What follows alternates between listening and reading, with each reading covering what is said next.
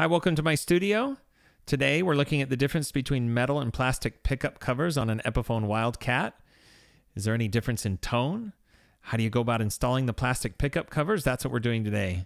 So first off, we've got a sound comparison, and then after that, I'm going to do an installation demonstration with some explanation.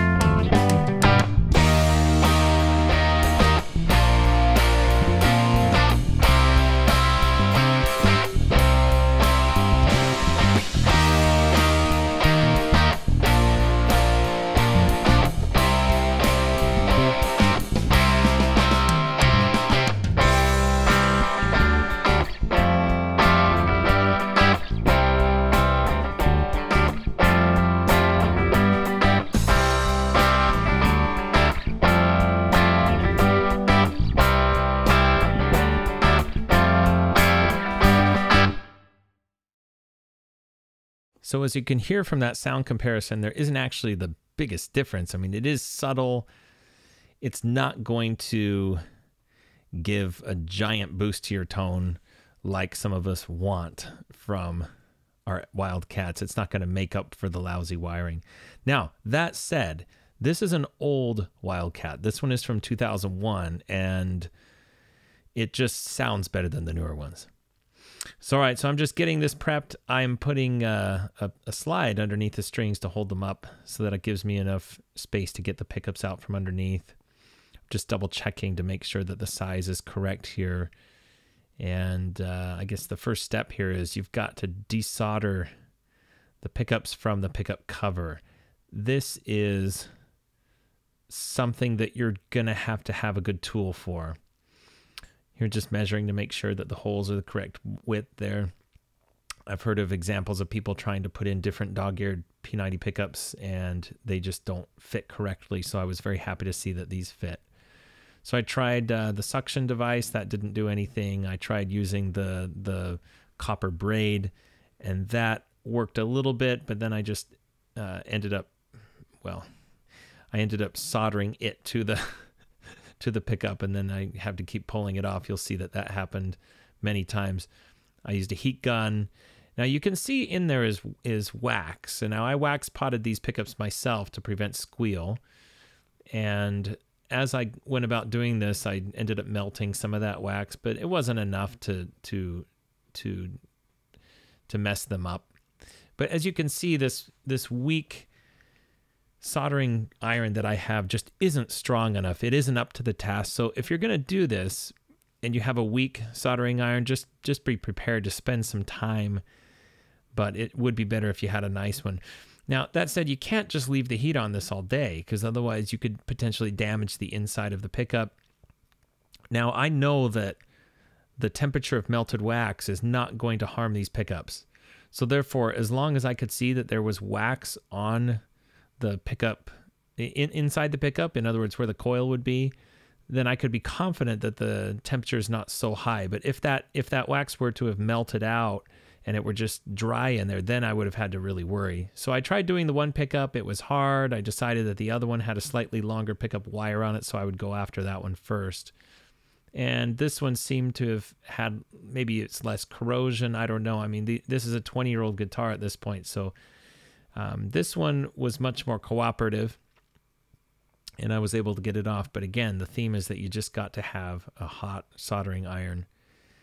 I spent some time actually filing down the tip because in the course of doing this, it gets corrosion or oxidation or whatever that is on there. Just have to keep working at it. Yeah, there I go. I soldered the braid to it and couldn't get it off again. Tried rubbing some flux around the outside and I was thinking that maybe what that would do is if I could melt any of the solder off of there, it would flow away.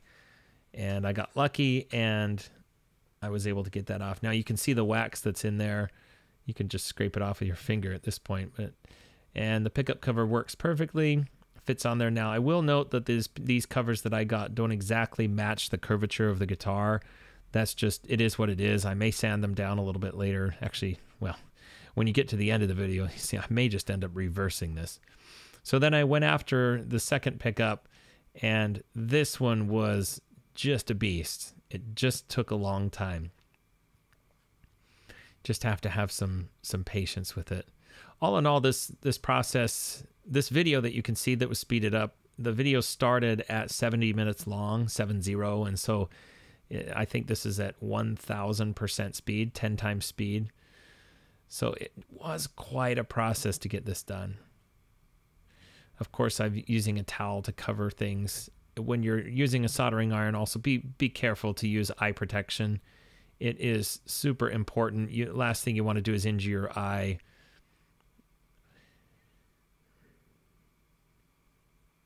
Just working at it, and you can see that the wax is melting off of the pickups and onto that onto that cloth that I put there again, it's a good idea to just cover the guitar, make it make it as uh, protected as you can make it.